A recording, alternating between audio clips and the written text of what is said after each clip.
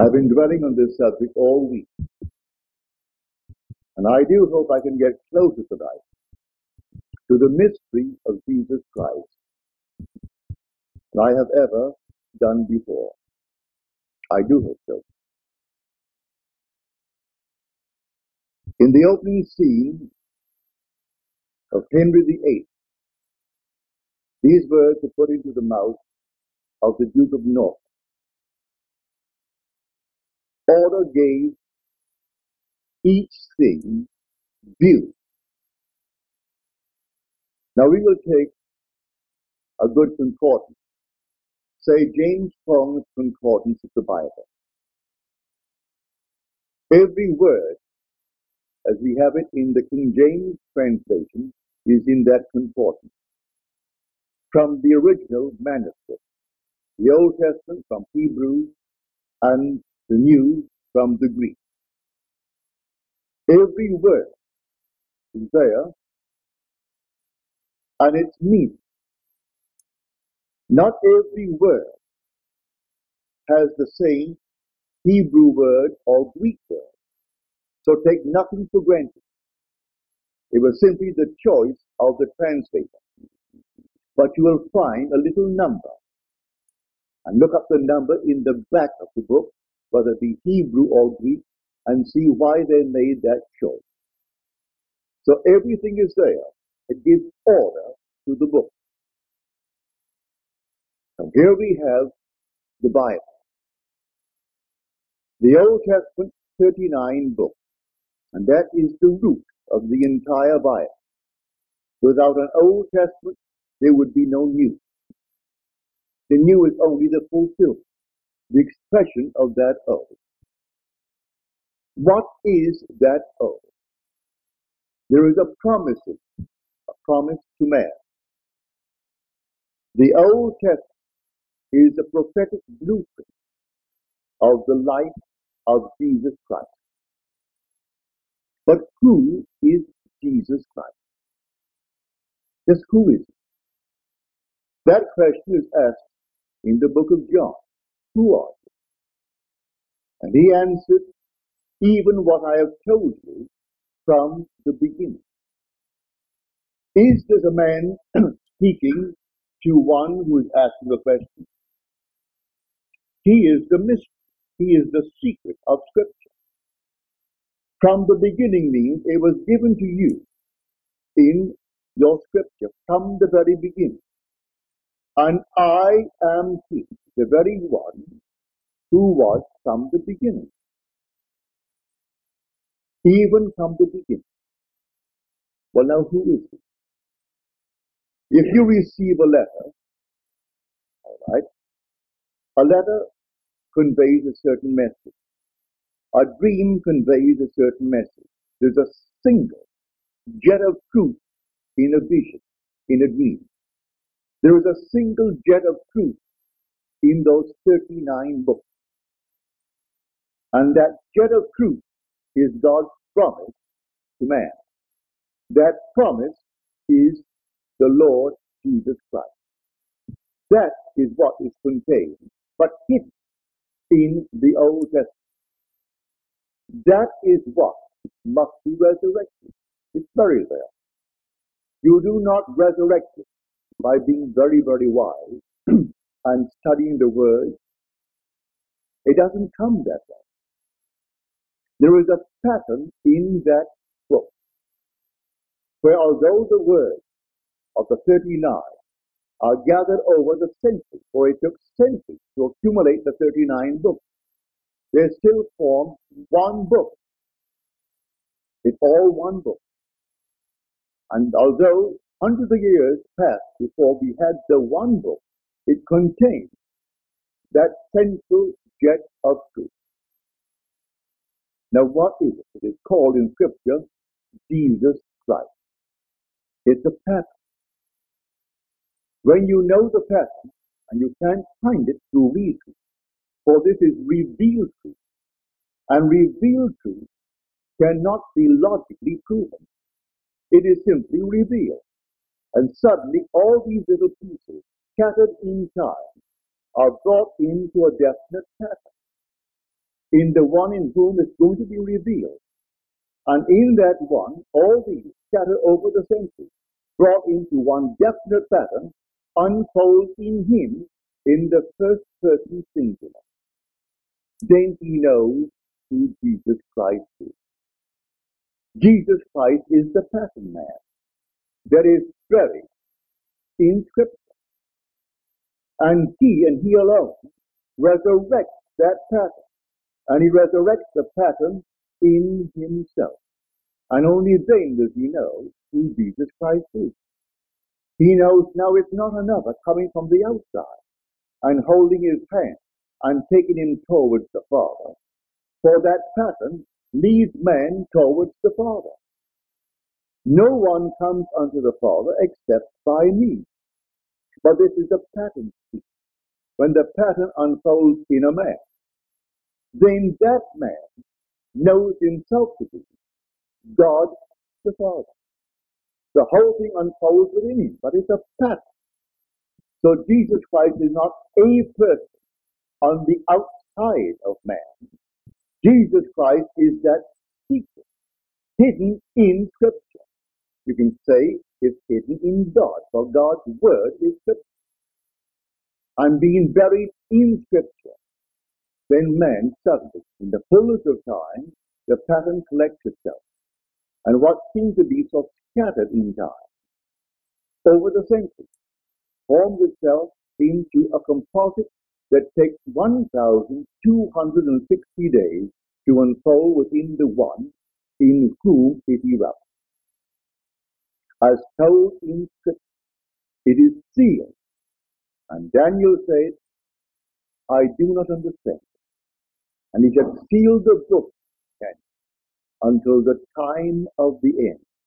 It will take a time, time, and half a time a year plus two years and a half a year, three and a half years, or 1,260 days.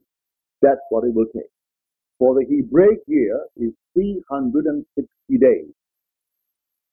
As told us then in Revelation in the 12th chapter, the great mystery of the birth of the heavenly woman took 1,260 days. So the the entire pack gathers itself together. and you in whom it unfolds realizes the secret of Scripture. And you are the secret. It's buried in Scripture, but you are there. So in the volume of the book, it is written about me. But who is speaking? What it is said, the prophet spoke. And then in the New Testament, it is quoted as though it is said of the Lord Jesus Christ. Well, it is the Lord Jesus Christ, for he is the secret of Scripture. He is buried in Scripture. And so we are told in Hebrew, of whom was it said? In the volume of the book, it is all about me. Well, it didn't occur to me for one moment, born in the 20th century, that anything written prior to my own little birth here was related to me, save what they said of my earthly father or my earthly mother or grandparents, but certainly not anything said away back in time.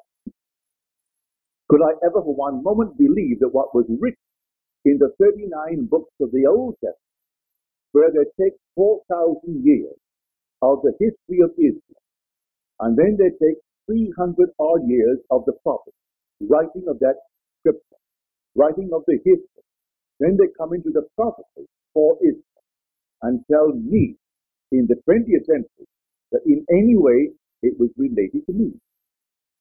How could it be? and yet it happened in me.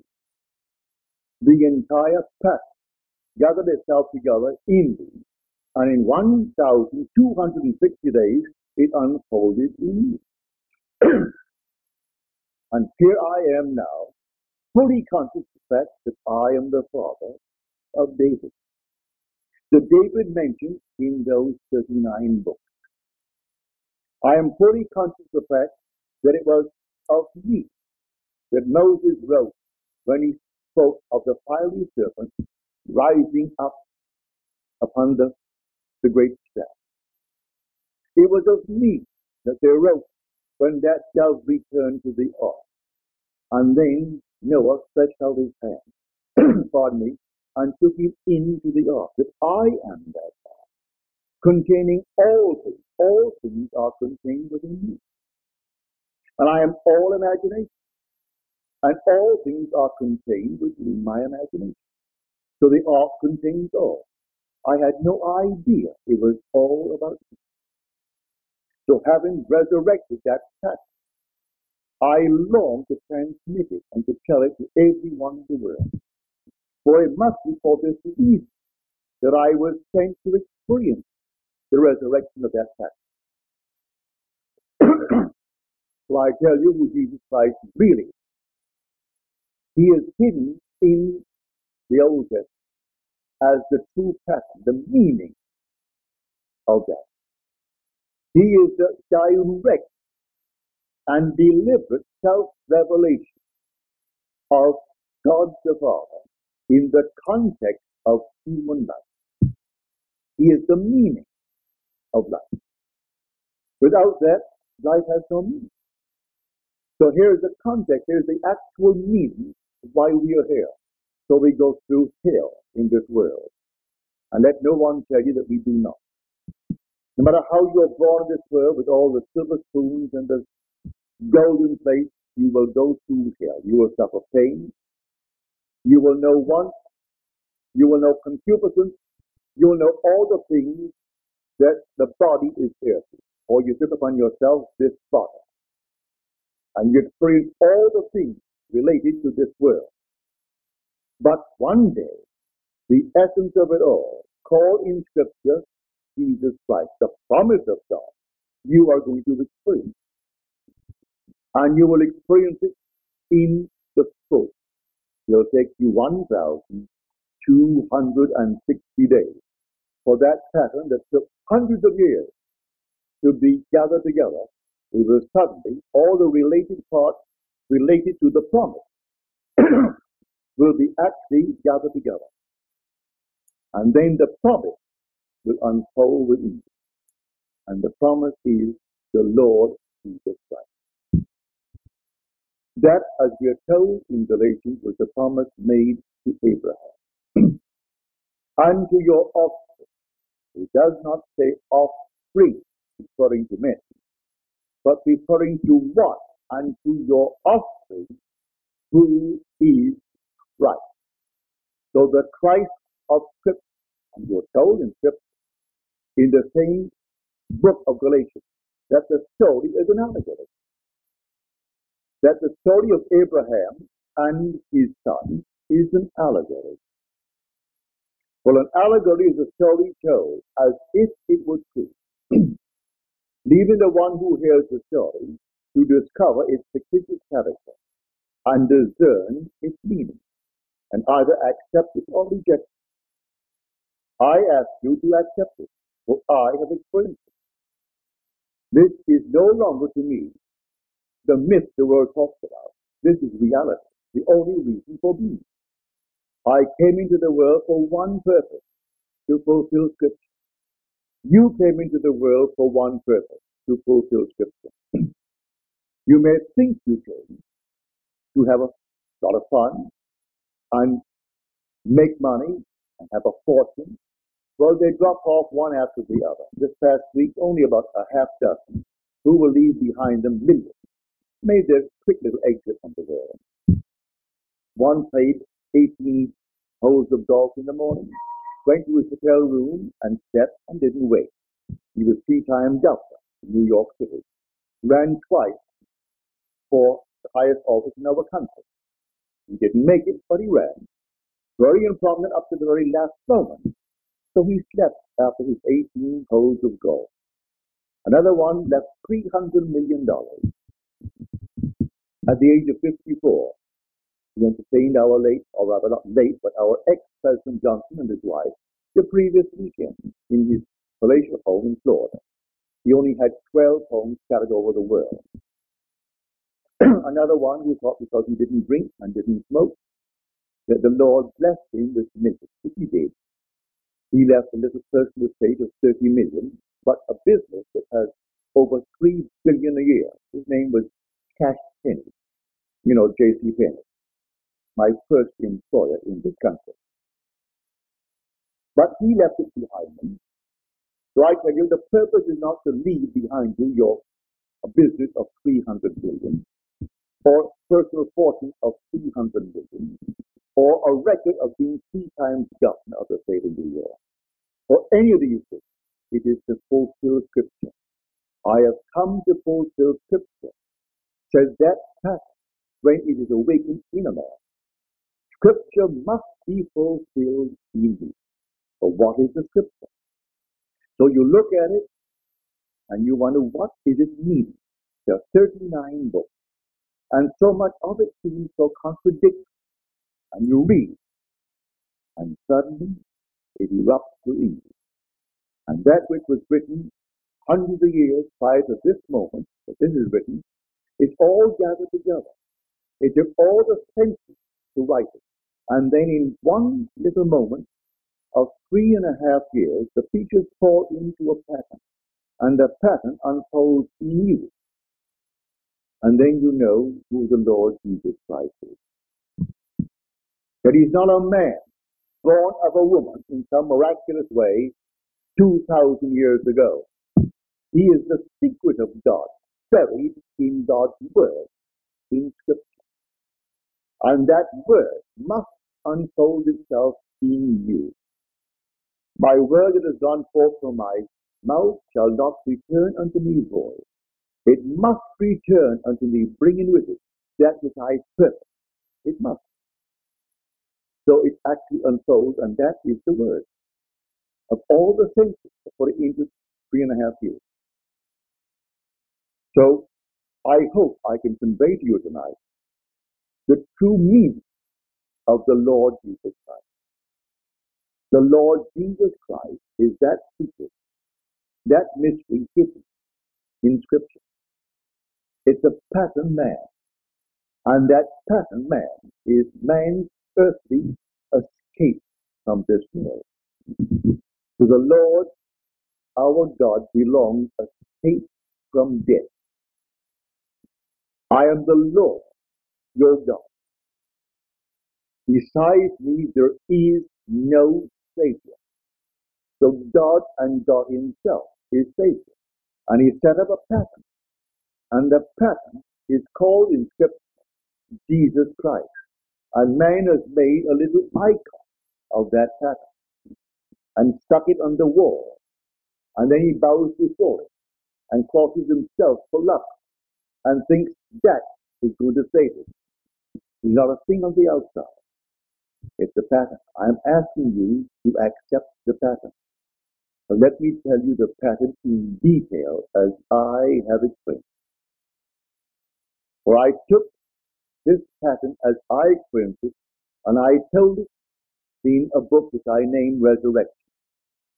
There's one chapter that bears the title of the book, and that is my personal confession of faith, based upon my own personal experience of the resurrection of this pattern within me.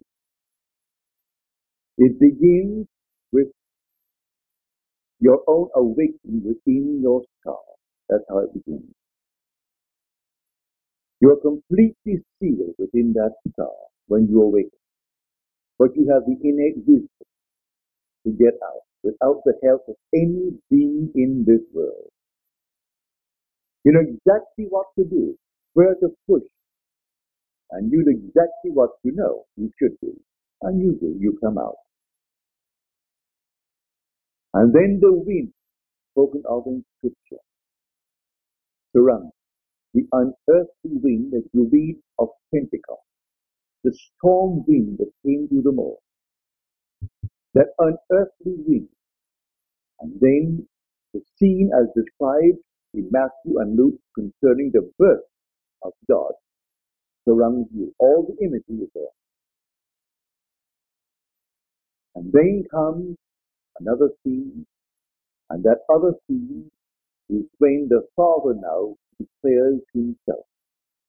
And you don't look upon anyone and call him Father. But the Father's Son stands before you and calls you Father. And you know he is your Son, and he knows you are his Father. So the Father reveals himself in you in the only way that he could ever through his Son calling you Father, and you know he is your Son. And then a scene so far back in time when Moses led them out of the wilderness, the desert. Anyone who saw the fiery serpent, he was cured. Cured of what? He was cured of slavery. He is leaving Egypt and moving into the promised land. And anyone who could look upon that fiery serpent as it was lifted up, he was cured. And then that happened. And you realize what it means now to have that entire thing take place within. You are that fiery serpent that rises within yourself into the heavenly spheres. When you get there, it is reverberates. And now you know what it is to have the he says, and remain upon you and smother you with love. For here he floats about. actually floats as you're told in the story of the flood. There is a flood, and the dove returns. And when you look up and you see him, he's simply floating because he doesn't move a wing. He makes no effort to remain above you. He simply floats. But the water is crystal clear. So you see him floating. And then you extend your hand as if you said, no, it is. And then he descends upon your hand and you bring him to yourself. You are the ark. You contain all things. For all things exist within the human imagination. And he comes down and he simply remains upon you and he smothers you with love. In those three and a half years, these four majestic, fantastic supernatural events take place. And that's the essence of the Bible. It took sense to bring it into this being, into this world, and record it. Here they're recording a most violent history of the Israel, of the people of Israel. And then comes the prophet, bringing the promise. There comes the promise. But no one understood it. And Daniel confessed, I do not understand it. I heard, but I did not understand. And he who stood close in the linen clothes he said to me, seal the book until the end. You can't break the seal now, but one will come. He is the Lamb of God. When he comes, he'll break the seal. In the fullness of time, the whole thing will break. And then that which is very easy for you are scripture unfolds within. So when you hear the word Jesus, don't think for one second some being on the outside. Jesus Christ is a pattern of salvation, buried in you. And in the fullness of time, you are going to experience that pattern. And the whole thing will awake you. Let those who insist on having a personal Jesus on the outside have him, perfectly all right. If they insist on it, let them have. And so many still insist on having some little personal God on the outside. And they go on morning, noon, and night praying to a God that does not exist. But I tell you he really is. He is a pattern, a pattern man, buried. And you can't see him no matter how erudite you are.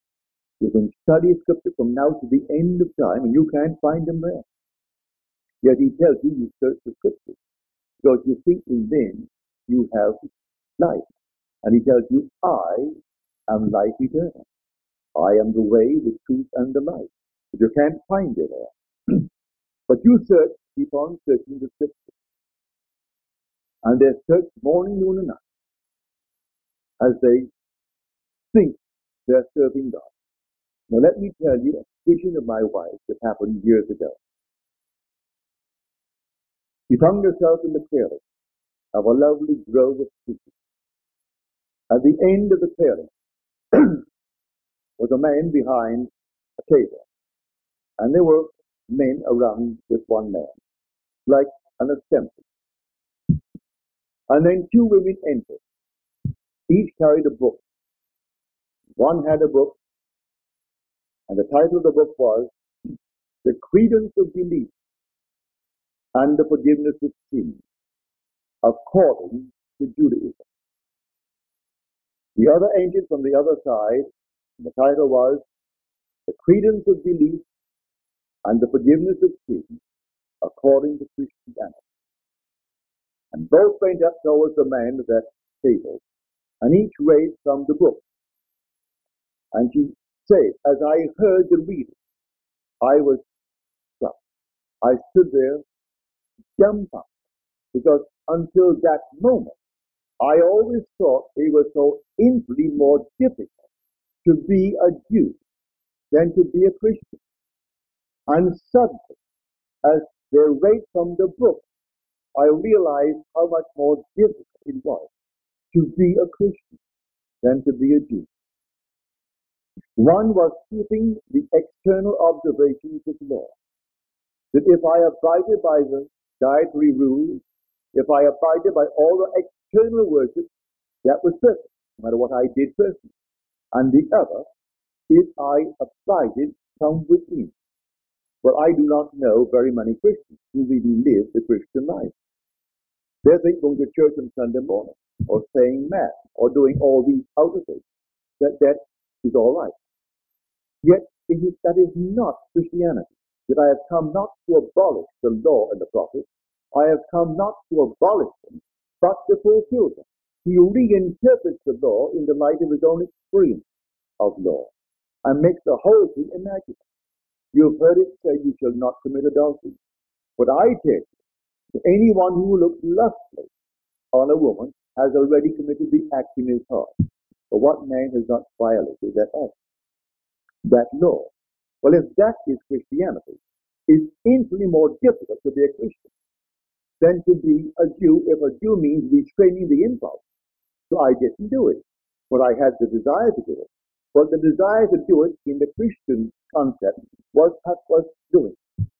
Therefore, the desire a man's money, but I restrained the impulse. Therefore, I didn't do it in the Jewish faith. But in the Christian faith, if I desire, if I coveted what he has, I did it. Well, how much more difficult it is to be a Christian. I have to live by that golden rule and do unto others as I would have them do unto me, but do it inwardly, not by restraining the impulse, not even having the impulse, not even in reading. So she heard these two women read from the book, and the book had the same title, only with this difference, according to Judaism, according to Christianity. And so according to Judaism, if I restrained the impulse, that was all right. I didn't do it. According to uh, Christianity, restraining the impulse wasn't good enough. The impulse was the act, for we're living, or rather living, in a world of imagination. And the imaginal act is fact. And it's not receding into the past, it's advancing into the future.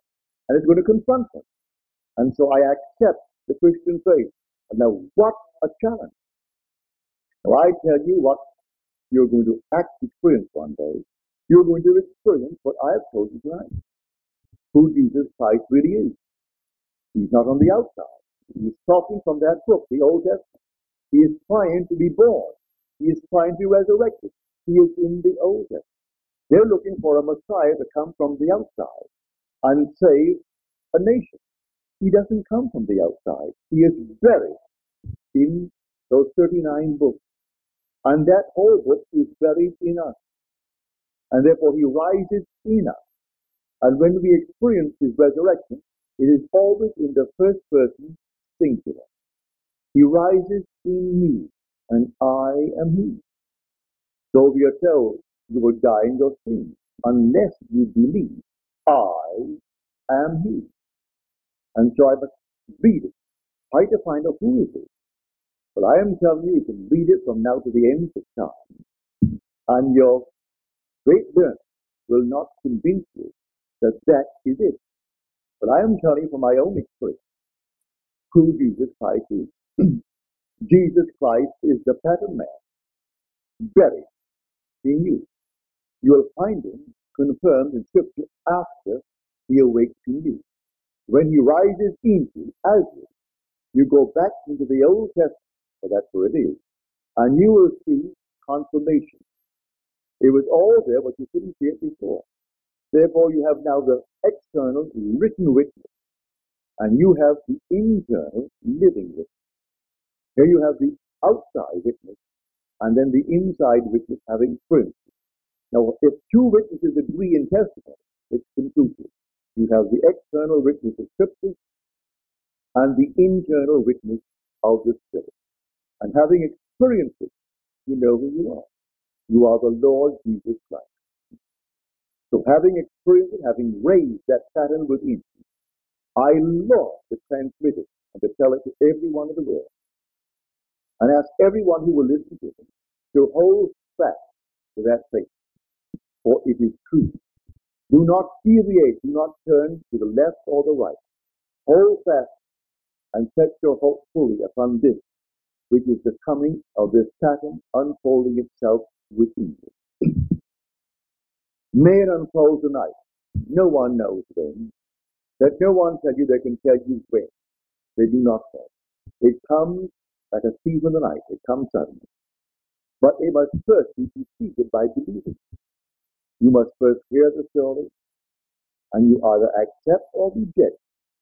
if you accept the story, well then, set your hope fully upon this grace that is coming to you as the unveiling of Christ in you, not outside of you. So I hope tonight you have a clearer concept who Jesus than you ever had before. Because trained as you and I have been trained in the belief in a personal, external Jesus, when we hear the name, we think of something on the outside. And we think of one who lived 2,000 years ago. We can't feel that he is contemporary.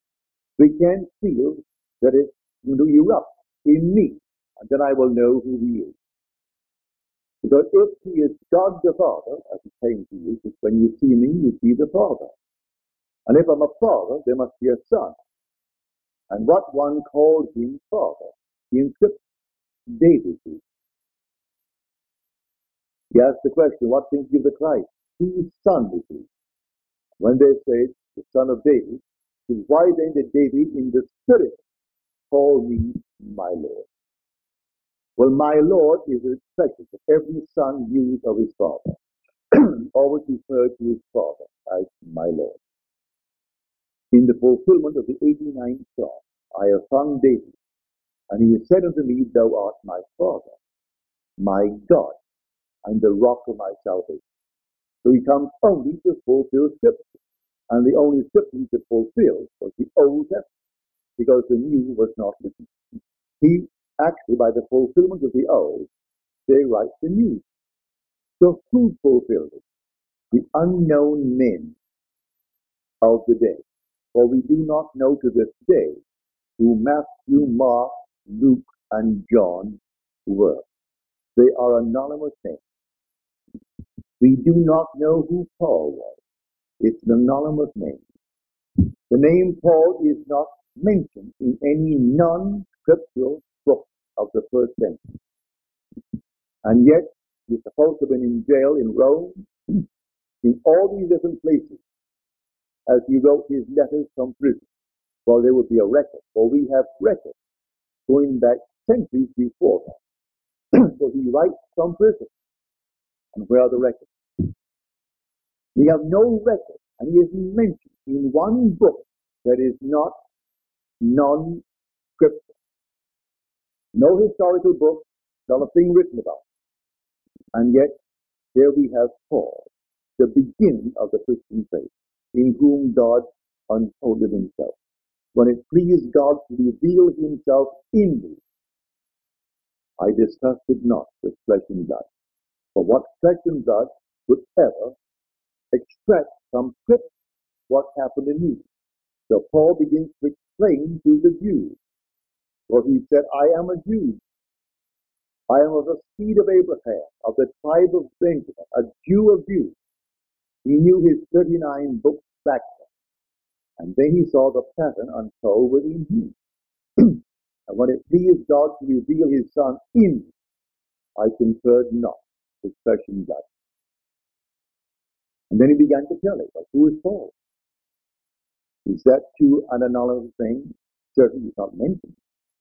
And we have the records of everyone in prison here. And he was in prison one after the other. Many prisons, as described in the book of Acts and described in his own letters. But we do know that Matthew, Mark, Luke, and John are anonymous names. No one knows who they are. so who are the men in whom the pattern erupted, who then told the story, which is really not the birth of Christ, it's the birth of Christianity. It's the birth of the promise of God.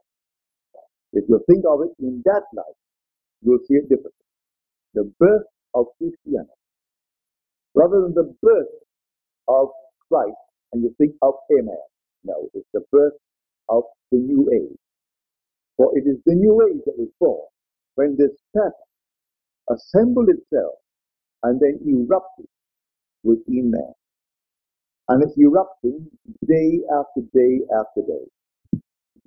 So I can say that God not only came, God Himself, into human history in the person that happened called Jesus Christ, but He comes. He came and He comes into human history in the pattern and unfolds Himself within the one who is going to experience His coming. So do not look for it to come from without. Today, there are very popular speakers all over this country who, when they go on TV, they get an audience of millions of people. And they want to be still here when he comes and go and shake his hand and tell him what good work they did for him. For they'll wait in vain. They'll wait to the end of time and they won't find him coming from without for he comes from within. He says, I am from above, and you are from below. Above and within are the same in Scripture, and without and below are the same in Scripture. If he's looking for him to come from without, he's looking for something to come from below. And that is not where the pattern comes from. It comes from above, and it comes from within. It unfolds within. It comes so suddenly no warning. But when it first appears, you can mark it 1,260 days. And then you linger and you tell your story to those who will hear it. And there's only one it. With deep conviction, you thank it. Doesn't really matter. You've gone. When you take off the garment, after you've experienced the resurrection of the pattern within you, you are in the new age, which is eternity. And there you are, one with the body of the living God. For there's only one body, only one spirit, only one Lord, only one God, Father of all and you are incorporated into that body of love forever and forever. But before you depart, you must share your experience with your brothers who are still searching the scripture. And you will tell them exactly how it happened. And it comes in this manner. It doesn't come as you've been taught that it's going to come. Look forever, it's not going to come that way. So I am telling you what I know from experience. I am not theorizing. I am not speculating. I am not erudite. I never went to college. I never graduated from high. So uh, you cannot accuse me of being scholarly. And you're told in Scripture, how does this man have this learning, see that he has no studies? He has not studied. And so listen to the second chapter of the book of John. For the man in whom it erupted, whoever he was who first spoke, was a simple man. As told us in the fourth chapter of Daniel, he will give it to whom he pleases, even to the lowly. So don't look for him to come among those who are highly exalted and highly promoted by themselves, because all these enormously promoted beings are self-promoted. A man doesn't go out and find others promoting him. He gathers the funds together and he promotes himself. Well, you can call it a political campaign or religious campaign or any other campaign. And they live in that little world of theirs. This morning's paper, you might have read this. When the Queen was accused of maintaining a certain castle, Sandringham, and someone said it has 360 rooms. Oh no, it's just a little hideaway. That's not a castle of it. It's a little hideaway we go. I'm quite sure it doesn't have more than 150 rooms. You, you get to the point where you live into the same place mentally that you have no contact with the world of reality. None whatsoever. It's like let them eat cake. You either have no bread let them have cake. And then a few hours later, her head came off. Them eat cake. Well, here she said, what? Oh no. Certainly, he doesn't have more than 150 rooms. When the average person doesn't have one. Well, I tell you, it's far greater, infinitely greater, that you experience the pattern unfolding within you than if you own the earth. If you own the whole vast world, and everyone will substitute to obey your command, you're still mortal, and will depart leaving your world. But this you don't depart. You enter eternity. The new age, incorporated into the body of the living God. And you only enter that by the unfolding of this pattern within. I hope tonight I have brought to you a clearer picture of Jesus Christ than I have ever done before. It's that pattern that is buried in those 39 books which no one by searching could find until it erupted in a man. And he, being familiar with the 39 books, he told us that although it is scattered over the centuries, there is simply a meaning to it all. And the meaning is put into 1,260 days, as told us in the 12th chapter of Daniel and the 12th chapter of Revelation. And there, the whole meaning is condensed but it takes the scattered cycle from the essential and puts it into a pattern. And together they give meaning. And this meaning now unfolds within you, and you are the promise that God made you. He promised you a son. And the son he promised you was his own son to give you not as a companion, but to give you as your son. And if he gave you his son as your son, then he gave you himself. That's how God gives himself to you.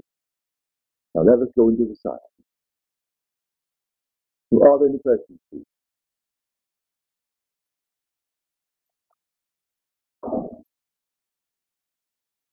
Any questions?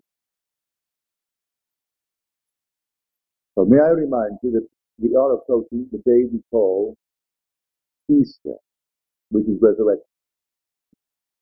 I'm not trying to sell you a book, but I do not know of any record of the true resurrection that is in print comparable to my chapter on resurrection, where the book is titled Resurrection.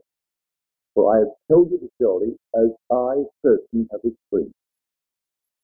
Others only talk about it as a being on the outside. And I have told you exactly how it happened.